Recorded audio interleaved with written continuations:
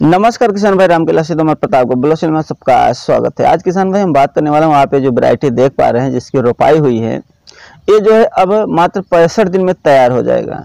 तो इसकी हम सारी जानकारी आपको देते हैं ये वैरायटी कौन सी है, और बीज मात्रा कितना लगता है, नर्सरी कब डाला जाता है, बीज की कीमत क्या है, कितने पौधे की रोपाई की जाती है, ये चावल कौन सा है, पतला है कि मोटा है सब कुछ आपको इस वीडियो में बताया जाएगा। वीडियो को लाइक ज़रूर करना। ऐसा वीडियो आप पसंद करते हैं, चैनल को सब्सक्राइब करके बेल आइकन पर क्लिक कर लें ताकि हमारा हर वीडियो आपको मिलता रहे। आपके मन में कोई सवाल, सुझाव है, नीचे कमेंट ज़रूर करें।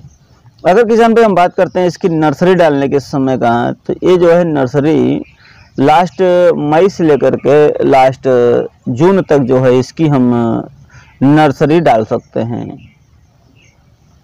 अगर हम किसान भाई बात करते हैं इसकी बीज मात्रा की तो इसका जो बीज मात्रा होता है, लगभग किसान भाई छः के का है, यानी छः किलो का बीघा होता है। इसकी अगर हम प्राइस की बात करें, जो बीज लिया जाता है तो इसका जो है प्राइस पचहत्तर रुपये से लेकर के अस्सी रुपया प्रति के जी के हिसाब से मिलता है। और किसान अगर हम बात करते हैं इसकी रोपाई का तो आप देख पाएँगे कहीं पर एक पौधे की रोपाई किया गया है, कहीं पर दो पौधे की तो कहीं कहीं पर ऐसा भी देखने को मिला है कि तीन पौधे की भी रोपाई हुई है। लेकिन जो सही तरीका है, लगभग इसका हमें दो से तीन पौधे की रोपाई कर देना चाहिए। और किसान भी देखने को मिलता है कि जैसे मान लो कि जहाँ पर खलार है, यानी जहाँ पर पानी ज़्यादा टिकता है, अधिक पानी है, अगर वहाँ हमें रोपाई करना है तो कम से कम तीन से चार पौधे करना होगा।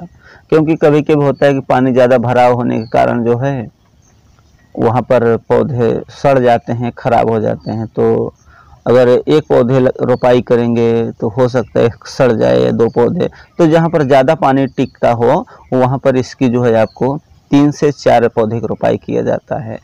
जहाँ पर ऊंचास है, यानी कि पानी कम टिकता है, वहाँ पर आप जो है, दो से तीन पौधे की भी रोपाई कर सकते हैं। यहाँ पर दो से तीन पौधे की रोपाई किया गया है।